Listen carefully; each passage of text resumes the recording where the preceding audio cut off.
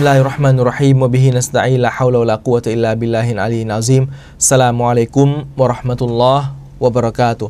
ความสันติสุขความเมตตาและความจำเริญจากอัลลอฮ์ซุบฮานะฮูวะตาลาจงประสบแด่พี่น้องท่านนะครับฮัมดุลิลละกลับมาพบกันอีกครั้งหนึ่งนะครับ ในรายการวันละอายะเนื้อหาที่เข้มข้นนะครับในสุรอันนบะที่อัลลอฮ์ซุบฮานะฮูวะตาลาได้ดึง บรรดามนุษยชาติทั้งหลาย ทั้งผู้ศรัทธาและผู้ปฏิเสธศรัทธาเนี่ยให้เห็นถึงเดชานุภาพของอัลลอฮฺสุบฮานะฮูวาตาลา ในการที่พระองค์จะให้มนุษย์ฟื้นคืนชีพขึ้นมาในวันเกียรมะอัลลอฮฺสุบฮานะฮูวาตาบอกว่าวันเกียรมะจะต้องเกิดขึ้นอย่างแน่นอน พวกเขาจะต้องรู้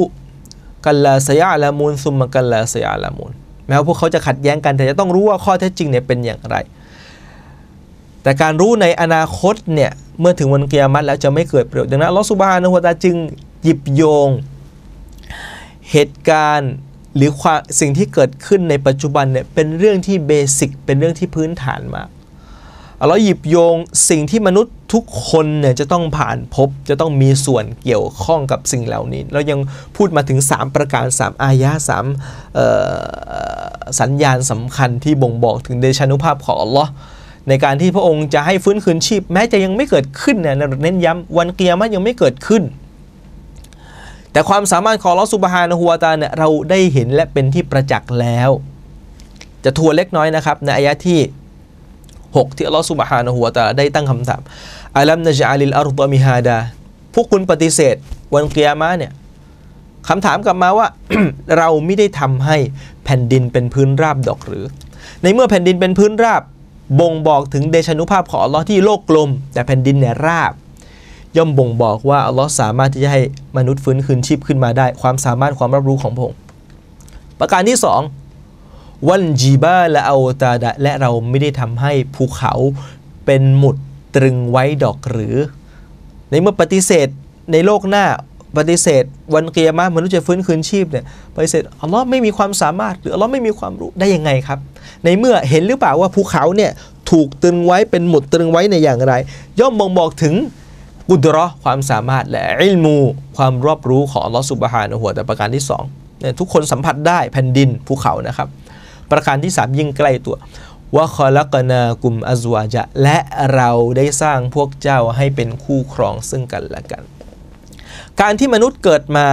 เป็นคู่ครองเนี่ยหรือว่ามีเชื้อสาย มีตระกูลเนี่ยเป็นอีกหลักฐานหนึ่งที่บ่งบอกถึงอะไรครับ เดชานุภาพของลอสุบฮานะฮูวตาละในการที่พระองค์เนี่ยจะให้มนุษย์ฟื้นคืนชีพขึ้นมาอีกครั้งหนึ่ง ได้นำเสนอกับพี่น้องในเมื่อสัปดาห์ที่แล้วนะครับว่า บรรพบุรุษของเราเนี่ยจะเป็นพ่อแม่ปู่ย่าตายายอะทวดนะฮะอย่างทวดเนี่ยของเราแต่ละคนเนี่ยเสียชีวิตไปแล้วกลับไปหาอัลลอฮ์แล้ว แต่อัลลอฮ์ยังคงให้คนที่หรือส่วนหนึ่งจากทวดของเราก็คือตัวเรา เราเนี่ยเป็นส่วนหนึ่งจากบรรพบุรุษใช่ไหมฮะยังคงหลงเหลืออยู่ แต่ท่านเหล่านี้เสียชีวิตไปแล้ว แต่เรายังคงเป็นอยู่เป็นอีกหลักฐานหนึ่งที่บ่งบอกว่าอะไรครับ ใครปฏิเสธว่าตัวเองไม่มีทวดบ้างครับ ไม่มีพ่อแม่ไม่มีปู่ย่าตายายไม่มีตระกูล ทุกคนมีตระกูลหมด ทุกคนมีทวดแล้วก็ทวดของเราเนี่ยก็ได้ล่วงลับกันไปแล้ว ใช่ไหมฮะ แต่ขณะเดียวกันเรายังคงอยู่นี่เป็นอีกหลักฐานชิ้นสำคัญที่บ่งบอกว่าอะไรเอ่ยบ่งบอกอัลลอฮฺสุบฮานะฮูวาตาละเนี่ยมีความสามารถ ที่จะให้คุณทวดตายไปแต่ยังคงอยู่ยังไงส่วนหนึ่งจากของท่านเหล่านี้ยังคงอยู่ ดังนั้นเนี่ยดูอาของลูกที่ดีเนี่ยยังยังประโยชน์กับผู้เป็นพ่อเป็นแม่ เพราะเราถือเป็นส่วนหนึ่งจากผู้เป็นพ่อเป็นแม่เอาวาลาดุนซอลิฮุนยเดอละที่ท่านนบีการันตีแม้จะตายไปแล้วเสียชีวิตไปแล้วนะครับบรรพบุรุษ แต่ลูกถ้าเป็นคนดีและขอดุอาให้ยังคงได้รับความดีเพราะอะไรเพราะเราเนี่ยเป็นส่วนโดยตรงมินนุนตุฟาติน มาจากอสุจิของพ่อแม่ใช่ไหมฮะหมายถึงว่าของพ่อแม่พ่อแม่มาจากปู่ย่าตายายนี่เป็นเป็นทางธรรมชาติที่อัลอสุบฮานะฮูวะตให้ส่วนหนึ่งจากผู้เป็นพ่อเป็นแม่เนี่ย มีเราเนี่ยเป็นส่วนหนึ่งจากพ่อเป็นแม่ปู่ย่าตายายเราเป็นส่วนหนึ่งจากปู่ย่าตายาย ดังนั้นเนี่ยความดีที่เราได้กระทำเนี่ยเราก็ให้ด้วยอัลฮัมดุลิลละให้เกิดขึ้นเรามีลูกใช่ไหมฮะลูกทำความดี ขอดุอาให้กับเรา เราได้รับผลประโยชน์ด้วย เราทำความดีขอดุอาให้กับพ่อแม่ปู่ย่าตายาย พ่อแม่ปู่ย่าตายายทั่วๆของเราเนี่ยได้รับประโยชน์ด้วยเพราะเราเป็นส่วนหนึ่งของท่าน แม้ว่าท่านจะเสียชีวิตไปแล้ว แต่ยังคงมีชีวิตอยู่ยังไงฮะก็เนี่ยส่วนหนึ่งจากท่านเหล่านั้นยังคงมีชีวิตอยู่ นี่เป็นหลักฐานสำคัญในการที่บ่งบอกอัลลอฮฺสุบฮานะฮูวตาสามารถที่จะให้ฟื้นคืนชีพขึ้นมาได้ เพราะอัลลอฮฺสุบฮานะฮูวตาเนี่ยให้เสียชีวิตไปแล้วก็จริงนะฮะบรรพบุรุษเนี่ยแต่คนที่มีลักษณะคล้ายคลึงกันเนี่ยเหมือนเขาเรียกอะไรเหมือนเหมือนกับบรรพบุรุษเนี่ยยังคงอยู่เนี่ยอัลลอฮ์ยังสามารถทำได้ของเหมือนของที่เคยทำแล้ว หมายถึงว่าอัลลอฮ์สร้างมนุษย์มาก่อนหน้านี้แล้ว และให้ลูกเขามีให้เขามีหลานแล้วตัวเขาเนี่ยเสียชีวิตไปใช่ไหมฮะ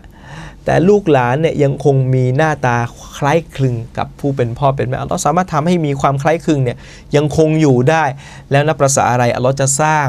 พ่อแม่ของเรา ปู่ย่าตายายของเรา ทวดของเราบรรพบุรุษของเราใครก็ตามที่ล่วงลับกลับไปหาอัลลอฮ์สุบฮานะฮูวาตาแล้วเนี่ยอัลลอฮ์จะไม่สามารถสร้างขึ้นใหม่ครั้งได้เนี่ยเป็นไปไม่ได้นะครับ ดังนั้นสายตระกูลอันนี้มีความสำคัญ การใคร่ควรชีวิตของเรา ดังนั้นสัญญาณของเราส่วนหนึ่งคือการแต่งงานนะฮะวามินอายาติฮิอันขลักละกุมมินอัมฟุซิกุมอัซวาจาส่วนหนึ่งจากสัญญาณของอัลลอฮ์นะฮะสัญญาณของอัลลอฮ์ในที่นี้เนี่ยคืออะไรวามินอายาอันขลักละกุมอัลลอฮ์สุบฮานะฮูวาตาเนี่ยอายะก่อนหน้านี้นะครับ ในสุร อัลรูมเนี่ยอัลลอฮ์ได้พูดถึงยุคริจุนไฮยมินันไม่ติวยุคริจุนไม่ตมินไฮวยุฮินอัลดบาดะมาติฮะวะกาซาลิกะตุครจุนพูดถึงการฟื้นคืนชีพอายะที่ 19อายะที่ 20อายะที่ 21เนี่ยก็พูดถึงสัญญาณหนึ่งของอัลลอฮ์สุบฮานะฮูวาตาลาเนี่ยอย่างอายะที่ 20 นะฮะอัลลอฮ์ได้บอกว่ามินอายาตีอันขลักละกุมมินอันขลักกุมมินตุรอบินซุมมาอิดะอันตุมบัชรุนตันตะชิรุน ส่วนหนึ่งจากสัญญาณอุลมาบอกว่า มินอายาตีฮีก็คือสัญญาณการฟื้นคืนชีพของอัลลอฮ์การที่เราจะฟื้นคืนชีพขึ้นมาก็คือ การที่อัลลอฮ์สร้างมนุษย์สร้างพวกเรามาเนี่ยจากดิน หลังจากนั้นเนี่ยเราก็แพร่กระจายไปทั่วแผ่นดิน วันกิยามะอัลลอฮ์ก็จะรวมอัลลอฮ์เป็นผู้สามารถแพร่กระจายได้ ย่อมสามารถที่จะรวมกลับมาทุ่งมาชัดเนี่ยได้ อีกสัญญาณหนึ่งวามินอายาติฮีอันขลักลกุมมินอัมฟุซิกุมอัซวาจา ส่วนหนึ่งจากสัญญาณของอัลลอฮ์คือการที่พระองค์เนี่ยสร้างพวกเจ้าสร้างให้พวกเจ้ามาจากตัวของพวกเจ้าเอง ซึ่งอัซวาจาเนี่ยอัลลอฮ์ใช้คำดูนะครับ มินอัมฟุซิกุมสร้างเพื่อพวกเจ้าจากตัวพวกเจ้าเองให้เป็นใครครับอัซวาจาให้เป็นคู่ครอง หมายถึงว่าคู่ครองเนี่ยมาจากตัวของพวกเรา เหมือนกับที่อัลลอฮ์สุบฮานุวะตาลาสร้างพนางฮาวาเนี่ยจากซี่โครงของนบีอาดัมมินอัมฟุซิกุม จากซี่โครงของนบีอาดัมเนี่ย เป็นคู่ครองของนบีอาดัมภรรยาของเราเนี่ยถ้านับไปแล้วนะฮะต้องมีไล่ไปสักชั้นหนึ่งเนี่ยก็เป็นญาติของเรา ญาติของเรานั่นแสดงว่าก็เป็นส่วนหนึ่งจากเราเนี่ยเช่นกัน เราสร้างมามนุษย์นี่คือแต่งงานกับมนุษย์ได้นะฮะอันนี้คือเป็นอะไรนะฮะเป็นส่วนหนึ่งมินอัมฟุซิกุมมาจากมนุษย์เหมือนกัน จากคนที่มาจากบรรพบุรุษเดียวกันก็คือท่านนบีอาดัมอะลัยฮิสลามแต่งงานกับลิงไม่ได้แต่งงานกับสัตว์มีชีวิตอื่นๆเนี่ยไม่ได้ อันนี้คือเป็นการปฏิเสธ แนวทางที่บิดเบือน แนวทางที่เปลี่ยนแปลงความเชื่อ เปลี่ยนแปลงธรรมชาติของลอสุบฮานุวตาอันนี้เป็นหลักฐานในเดชานุภาพของลอสุบฮานะฮูวตาลาที่จะให้มนุษย์ฟื้นคืนชีพขึ้นมาได้ อีกส่วนหนึ่งนะครับอัลลอฮ์บอกไว้ในอายะที่ 54 ของสุรอันฟุรกอนพระองค์ได้บอกว่าวะฮุวัลลดีพระองค์คือผู้ที่ขลักมินัลมาอิบาชารอ สร้างจากน้ำ ให้เป็นมนุษย์น้ำในที่นี้ก็คืออะไรฮะน้ำอสุจิ มีอายะอื่นที่อัลลอฮ์บอกว่าสุรอัมบียะเนี่ยวจันนามินัลมาอิกุลละชัยอินไฮ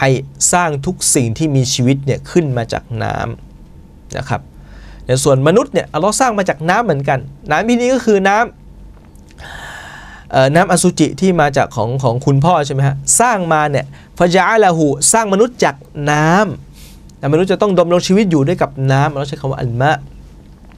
ฟาจาลาหูและพระองค์ได้ทำให้มนุษย์นั้นเนี่ยนาซาบันมีมีสายตระกูลวาซิฮรอ และมีการเกี่ยวดองกันสัมพันธ์ทางการแต่งงานวากานรบบุกะกอดีรอ และพระองค์นั้นอัลลอฮฺสุบฮานะฮูวาตาในรบบุกะในพระเจ้าของเจ้านั้น เป็นผู้ที่กอดีรอ เป็นผู้ที่มีความสามารถ นะนี่ก็คือสามารถสามารถคือทุกสิ่งทุกสิ่งสามารถที่จะให้มนุษย์เนี่ยฟื้นคืนชีพขึ้นมาได้เนี่ยกลับมาสู่อายะในสุรอันนาบะอีกครั้งนะครับเนี่ยว่าขอลักกันนากลุ่มอัซวาจะและเราได้ทำให้สร้างพวกเจ้าเนี่ยเป็นคู่ครองกันและกัน บ่งบอกถึงความสามารถของอัลลอฮ์สุบฮานะฮูวะตะลาอายะที่อายะนี้เนี่ยเป็นสัญญาณที่ 3 สัญญาณที่ 3 ที่บ่งบอกว่าลอสุบฮานะฮูวตามีความสามารถที่จะให้มนุษย์ฟื้นคืนชีพขึ้นมาได้อีกครั้งหนึ่ง หลังจากที่เขาเนี่ยเสียชีวิตไปแล้วเนี่ยหลักฐานที่ไหนครับ หลักฐานดูจากคู่ครองของเรา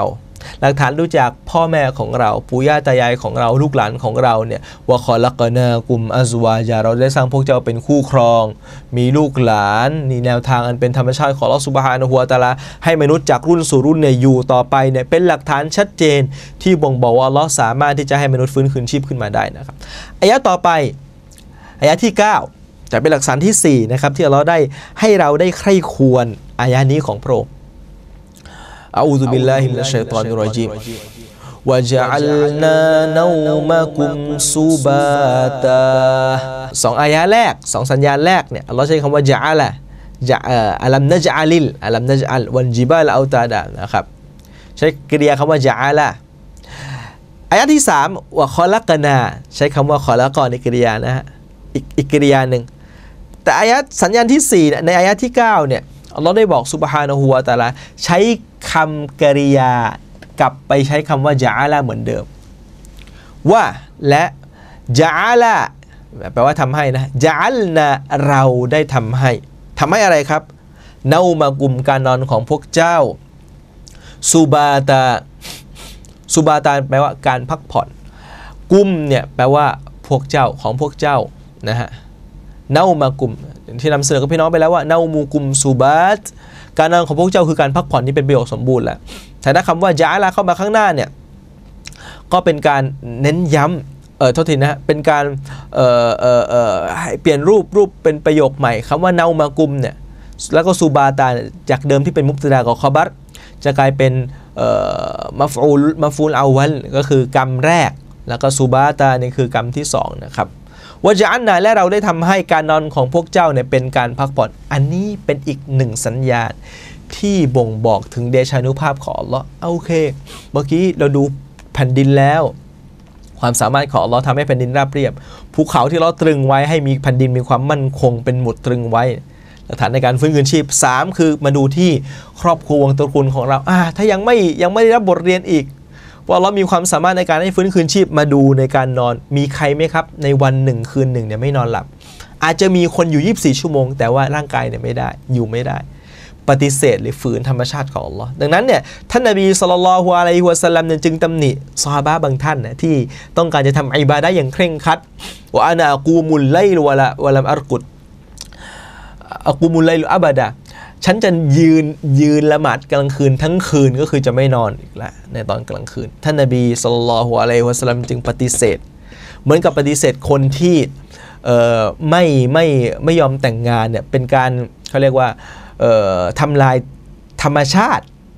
ของความเป็นมนุษย์ที่เกิดมาจากคู่ครอง ธรรมชาติของบรรดานบีและเราซูลที่ต่างคนต่างแต่งงานทั้งสิ้นนะครับนบีเราซูลมีแต่งงานแล้วก็มีคู่ครอง คนที่ไม่นอนเวลากลางคืน แม้จะทำอิบาดะไม่ต้องพูดถึงเรื่องไม่ไม่อิบาดะนะฮะอดนอนที่หามรุ่งหามค่ำมันไม่ไม่ไม่ไม่ไม่มีประโยชน์เนี่ยนะอันนี้เป็นข้อตำหนิทางศาสนาอย่างแน่นอนท่านนบีสุลต่านจึงห้าม มีให้พูดคุยหลังละหมาดอิชาในสิ่งที่ไม่เป็นประโยชน์ พูดคุยสิ่งที่ไร้สาระ หรือว่ามีสาระน้อยนะครับอันนี้เป็นสิ่งที่ต้องห้ามตามหลักการศาสนา แม้แต่คนที่ต้องการทำอิบาดะทั้งคืนเนี่ยต้องห้ามเหมือนกัน เพราะอะไรเพราะขัดกับธรรมชาติอันบริสุทธิ์ที่ลอสุบฮานะฮัวตาลาเนี่ยให้การนอนหลับช่วงเวลากลางคืนโดยเฉพาะนะครับ เป็นการพักผ่อนถ้าคนไม่นอนหลับเลยเนี่ยแน่นอนอยู่ไม่ได้ร่างกายปฏิเสธ ร่างกายอยู่ไม่ได้ ดังนั้นนี่จึงเป็นอีกหลักฐานที่มีความใกล้ชิดกับพวกเรามากก็คือ มีใครเกิดมาอยู่บนโลกนี้ไม่เคยนอนหลับเลยบ้าง ไม่มี มีใครในแต่ละวันเนี่ยที่วันหนึ่งยีิบสี่ชั่วโมงเนี่ยไม่หลับเลยอันนี้ก็ไม่มี หรืออาจจะมีเพียงแค่เล็กน้อยแล้วก็ไม่สามารถจะคงอยู่แบบนี้เนี่ยต่อไปได้ต้องมีการนอนดังนั้นการนอนหลับของพวกเราซึ่งถือเป็นการพักผ่อนเนี่ยเป็นสัญญาณที่อัลลอฮฺสุบฮานะฮูวะตะลาให้ เราเนี่ยได้รับรู้ถึงความสามารถของอัลลอฮ์ในการให้ฟื้นคืนชีพ การนอนในทาศาสนาของอิสลามเนี่ยถือเป็นการตายในรูปแบบหนึ่ง ในการตายเล็กนั่นเอง การเสียชีวิตอัวฟ้าเสียชีวิตก็คือการนอนเหมือนกับการเสียชีวิตเลยนะฮะการนอนลักษณะท่าทางบางทีเราดูคนนอนเนี่ยคนเสียชีวิตเนี่ยคล้ายกัน การรู้สึกตัวก็ไม่รู้สึกตัว และถือว่าเป็นการพักผ่อนเนี่ยเหมือนกัน เหมือนกับคนที่พักผ่อนในหลุมฝังศพเนี่ยพักผ่อนแล้วท่านนบีเคยบอกยานาซาหนึ่งในผ่านมานะฮะมุสตารีฮุนวะมุสตารอฮุนมินเขาเนี่ยได้พักผ่อนแล้วและคนอื่นได้พักผ่อนด้วยสอบาถามว่าใครกันครับได้พักผ่อนใครกันครับ คนอื่นได้พักผ่อน นบีบอกคนศพที่เป็นศพที่ดีเนี่ยมุสตารีได้พักผ่อนจากดุนยาอัลลอฮฺอักบัรแสดงว่านี่คือบทเรียนสำคัญมาก การเสียชีวิตของเราเนี่ยถ้าเราเป็นคนดีอัลฮัมดุลิลละนี่คือการพักผ่อนจากความยุ่งเหยิงของดุนยา แต่ถ้าเป็นคนชั่วคนชั่วนะฮะการเสียชีวิตของเขาเนี่ยตัวเขาเองเนี่ยไม่ได้รับประกันพักผ่อนเขาเหนื่อยต่อในในโลกหน้านะฮะไม่ได้รับการพักผ่อน แต่คนอื่นมุสตารอฮุนมิน ท่านนบีบอกว่าคนแม้แต่สัตว์ แม้แต่ก้อนหิน แม้แต่ต้นต้นเอ่อต้นไม้เนี่ยจะได้รับการพักผ่อนจากน้ำมือของคนชั่ว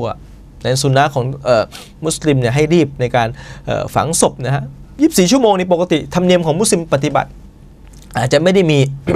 เวลากำหนดโดยตรงก็ต้อง24ชั่วโมงแต่ธรรมเนียมที่มุสลิมปฏิบัติกันเนี่ย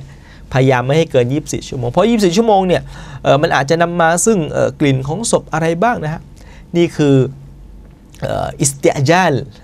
การรีบฝังจนาซาเนี่ยเป็นสุนนะหนึ่งของท่านนบีสุลต่านละฮ์อะลัยฮิวะสัลลัมนะฮะ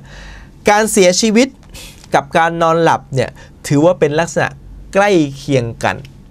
ดังนั้นเนี่ยการที่เรานอนหลับเนี่ยจึงเป็นสัญญาณหนึ่งในการบ่งบอกว่าอัลลอฮฺสุบฮานะฮูวาตาลา มีความสามารถจะให้เราตื่นขึ้นมาได้ ย่อมมีความสามารถที่จะให้เราฟื้นคืนชีพขึ้นมาได้ วิถีชีวิตของเราในการนอนหลับและการตื่นนอนเนี่ยจึงสอดคล้องกับธรรมชาตินี้ ก่อนจะนอนเรากล่าวอะไรฮะباسمك اللهم أموت وأحياด้วยพระนามของอัลลอฮ์โดยพระนามของท่านโอ้อัลลอฮ์ฉันأموتฉันจะเสียชีวิตوأحياและฉันจะมีชีวิต เสียชีวิตก็คือการนอนหลับวะอัฮยาคือการมีชีวิต หรืออัฮยาวะอามูตุมีชีวิตและการเสียชีวิต อันนี้ก็แล้วแต่อาจจะมีตักดีมตักคิดอันไหนก่อนอันไหนหลังนะครับอามูตุวะอัยาหรืออัยาวอามูตุอามูตุอัยาเสียชีวิตก็คือการนอนหลับเนี่ยแหละฮะเวลาก่อนจะนอนเนี่ยตักเตือนด้วยพระนามของอัลลอฮ์ถ้าจะนอนเนี่ยนอนครั้งนี้เป็นนอนครั้งสุดท้ายหรือนอนยาวเลยนะฮะนอนเสียชีวิตใหญ่เลยเนี่ยเราก็จะเสียชีวิตด้วยกับนามของอัลลอฮ์หรือถ้าจะยังไม่เสียชีวิตจะฟื้นคืนขึ้นมาอีกครั้งหนึ่งนะฮะก็ถือว่าการนอนของเราเนี่ยก็จะมีผลบุญเนี่ย เจ็ดชั่วโมง 8 ชั่วโมงบางทีแล้วแต่นะฮะหกชั่วโมงเจ็ดชั่วโมงแปดชั่วโมงแล้วแต่ศาสนาไม่ไม่ได้กำหนดโดยตรงว่าต้องนอนกี่ชั่วโมงจะต้องไม่กระทบกับอิบาดะนอนเลยละหมาดซูโบเนี่ยไม่ได้นะครับนอนให้เป็นการพักผ่อนนี่คือเป้าหมายของการนอน ไม่ใช่นอนกินบ้านกินเมืองแน่นอนนอนไปเรื่อยๆ นอนในสวรรค์นะครับนอนไปเรื่อยๆ แต่ว่านอนในดุนยานี้คือนอนเพื่อซูบาตาเพื่อการพักผ่อนนั้นในวิถีชีวิตจึงสอดคล้องกับ การตักเตือนการนอนเนี่ยตักเตือนถึงความตาย ความตายตักเตือนแน่นอนคือความตายเนี่ยตักเตือนถึงโลกหน้า การนอนตักเตือนถึงความตายและตักการการตายเนี่ยตักเตือนถึงการฟื้นคืนชีพ หรือว่าตักเตือนถึงโลกหน้า ก่อนจะนอนเนี่ยباسمك اللهم أموت وأحياฉันจะนอนด้วยกับนามของอัลลอฮ์จะตายด้วยกับนามของอัลลอฮ์จะฟื้นจะตื่นขึ้นมาเนี่ยด้วยกับนามของอัลลอฮ์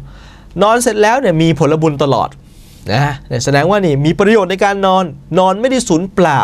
เหมือนกับท่านมุอาซอิบนุญะบัลเนี่ยأحتسبได้บอกนะฮะأحتسب على نومتي كما أحتسب على قومتيฉันคิดบัญชีความดีของฉันในขณะนอนเหมือนกับที่คิดบัญชีความดีของฉันในขณะตื่นนอน กล่าวคือขณะตื่นนอนนี่คือขณะที่ลุกขึ้นมาละหมาดตะฮัดยุดนะฮะละหมาดยามค่ำคืนเนี่ยฉันจะนอนเนี่ยมีผลบุญรับผลบุญจากอัลลอฮ์การตื่นนอนเนี่ยรับผลบุญจากอัลลอฮ์สุบฮานะฮูวตาเช่นเดียวกันลุกขึ้นมาละหมาดแสดงว่าทั้งนอนพักผ่อนเนี่ย ขอผลบุญจากอัลลอฮ์ตื่นขึ้นมาอิบาดะเนี่ยเพื่ออัลลอฮ์ขอผลบุญจากอัลลอฮ์อิบาดะมันจึงมันจึงเป็นมิเตอร์ที่มันต่อเนื่องอะมันจึงเป็นวิถีชีวิตไม่ได้เป็นบางอิบาดะเท่านั้น แม้แต่การนอนหลับ ถ้าการนอนหลับของเราเนี่ยทำให้เราลำลึกถึงความตายทำให้เราลำลึกถึงการฟื้นคืนชีพแน่นอนนะครับ บวกกับดูอาเข้าไปเนี่ยเป็นการเน้นย้ำเราทุกค่ำทุกคืนมีอาดับหรือมารยาทก่อนนอนนะฮะแน่นอนทำให้การนอนของเราไม่สูญเปล่า และจะมีผลบุญนะที่อัลลอฮฺสุบฮานะฮูวาตาลาเนี่ยอย่างไม่ขาดสายขณะที่เราไม่ได้ทำอะไรทำอะไรฮะพักผ่อนนอนหลับ อิสลามเนี่ยจึงถือว่าแม้แต่การพักผ่อนการผ่อนคลายมีผลบุญท่านนบีสุลต่านถึงขนาดบอกว่าอยู่ร่วมกับภรรยาวาฟีวุดอิอาฮดีกุมซอดะกอการที่พวกท่าน หลังคือความรู้สึกนะฮะ อยู่ร่วมหลับนอนกับภรรยาเนี่ย มีความสุข ในอิสลามถือว่ามีผลบุญนะที่อัลลอฮฺสุบฮานะฮูวาตาละซอบะถามจะผลบุญยังไงฮะ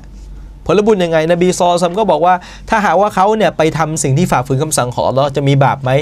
ท่านนบีบอกว่าเอออันซอบะบอกว่ามีบาปในบีบอกเช่นกัน ถ้าเขาทำสิ่งที่มันออสอดคล้องกับธรรมชาติ หรือว่าสิ่งที่ฮาลาลเนี่ย เขาย่อมได้รับผลบุญเหมือนกัน ดังนั้นการนอนเนี่ยของมุสลิมเนี่ยมันจึงเป็นการตักเตือน จึงเป็นสัญญาณ จึงต้องต้องกล่าวดูอา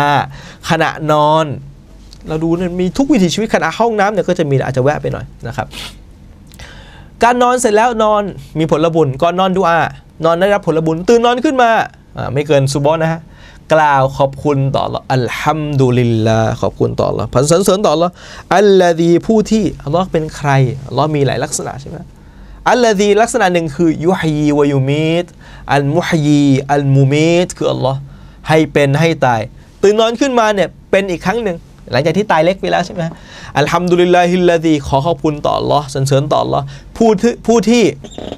อัลลอฮีอัฮยานะ ให้เราได้มีชีวิตอาหยานะบาดามาหลังจากที่อามาตนะให้เราได้เสียชีวิตไวไลฮินนูชูดและอยังพงคือการฟื้นคืนชีพอ้าวนั่นแสดงว่าการนอนของเราเนี่ยเปรียบเสมือนการตาย การตื่นเนี่ยเปรียบเสมือนการฟื้นคืนชีพ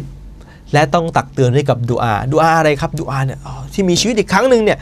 นั่นคือชีวิต ใหม่อีกครั้งหนึ่งหลังจากการนอน และคือโอกาสใหม่ของวันใหม่ที่เราจะทำความดีเพื่ออิไลฮินนูชูดเพื่อการฟื้นคืนชีพที่แท้จริงเห็นไหมขณะการตื่นนอนหรือก่อนที่จะนอนเนี่ยศาสนาอิสลามเนี่ยยังสอนให้เรามีวิสัยทัศน์ ตื่นขึ้นมาวันใหม่โอ้โหดูอาอย่างเดียวนี่คือเป็นเหมือนกับใครจะคิดดูอาแบบนี้ได้ครับ แบบท่านนาบีสุลต่านละฮ์อะลัยฮิวสัลลัมผู้ที่ ไม่พูดสิ่งที่มาจากอารมณ์ของตัวเอง แต่เป็นวะฮีจากอัลลอฮ์ทั้งสิ้นนะฮะนะท่านนบีจึงเนี่ยอัลฮัมขอบคุณต่ออัลลอฮ์วันใหม่รีเฟชแล้ว มีสุขภาพใหม่แล้ว ได้รับการพักผ่อนแล้วเนี่ย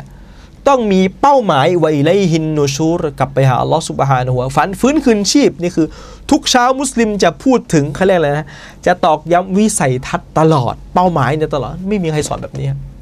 เดี๋ยวนี้เขามีบอกว่าเป้าหมายของเราเนี่ยต้องเน้นทุกวัน ต้องพูดประจำต้องเขียนแต่มุสลิมถูกสอนต้องดูอากันตลอดเป้าหมายของเรา ตื่นนอนเนี่ยต้องดูอาไวไลฮินนูชูรตื่นนอนแล้วขอบคุณต่อเราเสร็จแล้วนะฮะมันมีหลายบริบท ทั้งขอบคุณทั้งดูอา ที่อัลลอฮ์ให้มีชีวิตอยู่และขณะเดียวกันเนี่ยก็มุ่งไปข้างหน้าไวไลฮินนูชูรตื่นวันนี้เนี่ยต้องตื่นวันหน้าอย่างสภาพที่ดีด้วย ในวันเกียร์มาไวไลฮินนูชูรการฟื้นคืนชีพเนี่ยนั้นแสดงว่า การตื่นนอน การนอนพักผ่อน การตื่นนอนเนี่ยได้รับพลังจากการพักผ่อนเนี่ยเป็นสัญญาณของการฟื้นคืนชีพ อย่างชัดเจนเนี่ยหลีกเลี่ยงไม่ได้ สัญญาณจากการฟื้นคืนชีพ ดังนั้นคนที่ปฏิเสธต่อการฟื้นคืนชีพ หรือความสามารถของอัลลอฮ์เนี่ยประหนึ่งเขาปฏิเสธ ธรรมชาติของตัวเอง ธรรมชาติของเราที่จะต้องนอนมีใครไหมครับ ปฏิเสธว่า การนอนคือการพักผ่อน บอกว่าฉันเนี่ยไม่ต้องนอนก็ได้ ฉันพักผ่อนอย่างอื่นได้ไม่ต้องนอนได้ไหมฮะไปเที่ยวอย่างเดียวไม่ต้องนอนไม่ได้ ไปเที่ยวก็ต้องนอนทำงานก็ต้องนอน ยังไงก็ต้องนอน อย่างไรอย่างไรก็ต้องนอน จะพักผ่อนยังไงเนี่ยไม่สมบูรณ์นอกจากต้องนอน เพราะนี่เป็นแนวทางของลอสุบฮานหัวแต่มนุษย์ถูกสร้างมาในรูปแบบนี้แล้วคนที่ปฏิเสธการฟื้นคืนชีพเนี่ยประหนึ่งคนที่ปฏิเสธการฟื้นคืนชีพเนี่ยประหนึ่งปฏิเสธอะไรฮะ ปฏิเสธการนอนของตัวเอง เหมือนกับคนที่กล้าที่ฐานที่จะบอกว่าฉันไม่ต้องนอนเนี่ยก็อยู่ได้ อันนี้เป็นไปไม่ได้นะฮะดังนั้นเนี่ยเมื่อเราต้องนอนพักผ่อนฟื้นขึ้นฟื้นขึ้นมา เหมือนกันครับ การตายเนี่ยก็ต้องมีขึ้นมามันคู่กันนะฮะตายก็ต้องฟื้นคู่กับฟื้นคืนชีพนอนหลับ คู่กับตื่นนอน การตายเนี่ยก็ต้องคู่กับการฟื้นคืนชีพนี่คือวิถีชีวิตของอิสลามทั้งหมดนะมีบทเรียนทั้งสิ้น การเข้าห้องน้ำก็มีดูอาดูอาที่เหมาะสมกับการเข้าห้องน้ำการออกห้องน้ำมีดูอาเข้ามัสยิดมีดูอานี่คือวิถีชีวิตของมุสลิมนะฮะแล้ววิถีชีวิตเหล่านี้นะฮะมันเป็นสิ่งใกล้ตัวเนี่ยเราบอกไป 4 ประการนะครับจะหยุดไว้แต่เพียงเท่านี้ 1 ประการที่บ่งบอกถึงเดชานุภาพของเราในการฟื้นคืนชีพ การให้แผ่นดินเป็นพื้นราบ ภูเขาถูกตึงไว้เป็นหมุด 3 คือเออการที่พวกเรานี่มีตระกูล มีพ่อแม่มีคู่ครอง และ 4 ก็คือการนอนหลับของเราเนี่ยเป็นที่พักผ่อนล้วนแล้วแต่เป็นหลักฐานที่บ่งบอกถึงเดชานุภาพของเราทั้งสิ้นนะครับ ในการที่จะให้มนุษย์เนี่ยเอ่อฟื้นคืนชีพขึ้นมาอีกครั้งในวันเกียรมะ أقول قولي هذا وأستغفر الله العظيم لي ولكم وصلى الله على نبينا محمد وعلى آله وصحبه وسلم السلام عليكم ورحمة الله وبركاته